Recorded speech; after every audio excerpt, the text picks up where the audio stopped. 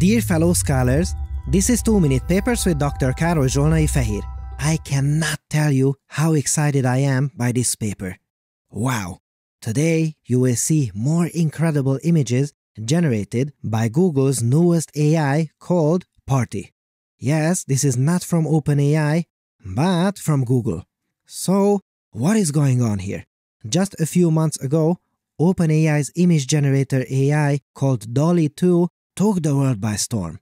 With that, you could name almost anything Cat Napoleon, a teddy bear on a skateboard on Times Square, a basketball player dunking as an explosion of a nebula, and it was able to create an appropriate image for it. It is also good enough to be used in our own thumbnails. However, there was one interesting thing about it.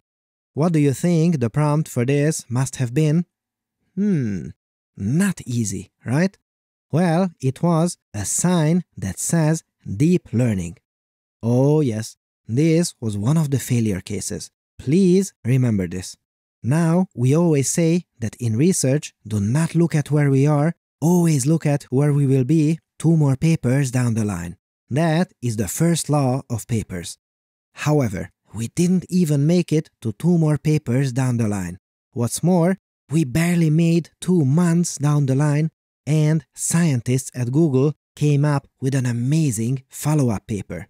It was called Imagen. Imagen was absolutely incredible as it could now, finally, synthesize text properly. It could also understand when we say a couple of glasses on a table and won this little linguistic battle against OpenAI's DALL-E 2. And all this just two months after it. That is absolutely amazing. But hold on to your papers because you won't believe this one. I certainly didn't when I saw it first. Just about one month after Imagen, here is an even newer paper on AI image generation called Parti. That is fantastic. Welcome to our world, little AI. But why does this exist? Well, this is why. I'll explain in a moment, but first, let's have a look at what it can do through three of my favorite examples, and then we'll discuss why it exists.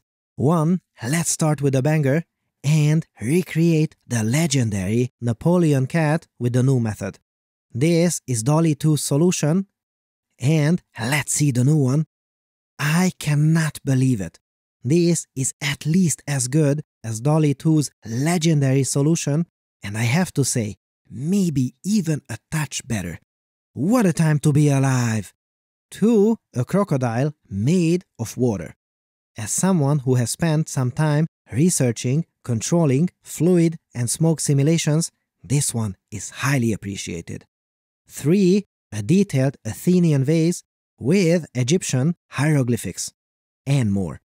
I love how Parti was able to bring all of these concepts together into one coherent solution. This may be subjective, but if someone told me that a person made this, I would say that person is quite creative. But creativity in a machine, how cool is that? Now, remember this image, I said that this is why Parti exists. So, what is going on here?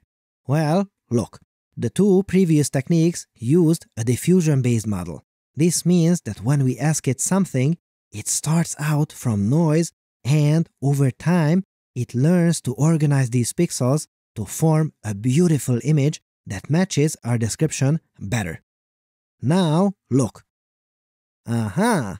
This Parti technique is not a diffusion-based model, it is an autoregressive model. What does that mean? It means that it uses no diffusion, it does not create a piece of noise and refine it into an image. Mm-mm. No, sir. Instead, it thinks of an image as a collection of little puzzle pieces. Why?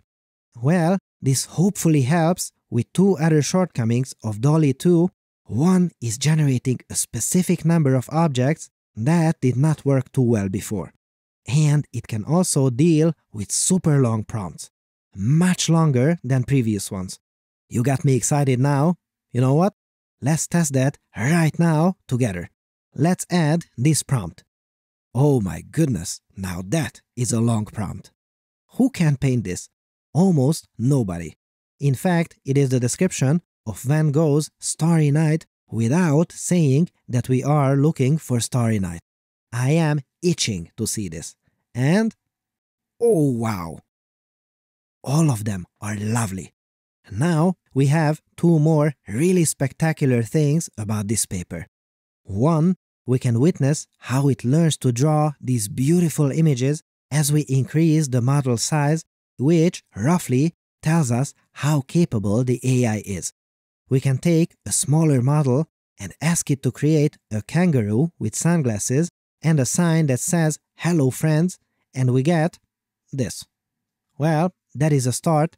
It can't really write yet and the details are lacking.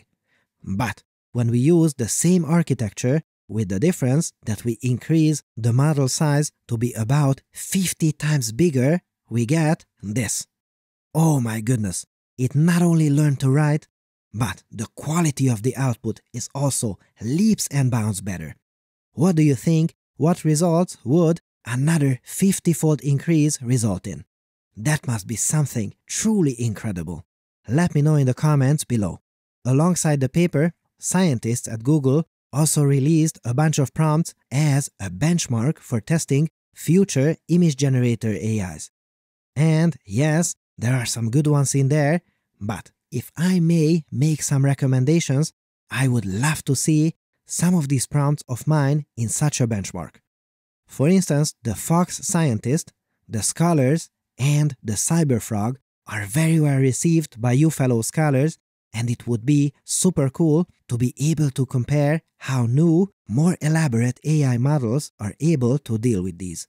I also put a text version of these in the video description if someone is interested. So, it's official. The age of beautiful AI-generated images is now here. Does this get your mind going? What do you think? Let me know in the comments below. If you're looking for inexpensive cloud GPUs for AI, Lambda now offers the best prices in the world for GPU cloud compute. No commitments or negotiation required. Just sign up and launch an instance. And hold on to your papers because with Lambda GPU Cloud, you can get on-demand A100 instances for $1.10 per hour versus $4.10 per hour with AWS. That's 73% savings. Did I mention they also offer persistent storage? So join researchers at organizations like Apple, MIT, and Caltech in using Lambda Cloud instances, workstations, or servers.